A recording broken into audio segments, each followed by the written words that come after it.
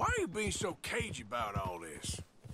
Always playing some goddamn game. Me? I ain't the one taking Jack on fishing trips. No, you ain't. If you say the boy ain't yours, what's the difference? You probably only run off again.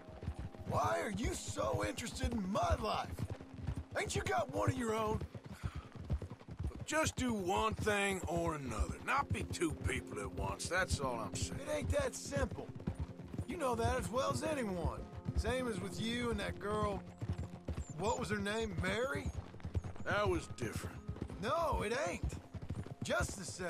Anyway, for the love of God, will you tell me what you got me doing here before I turn around and hit the breeze?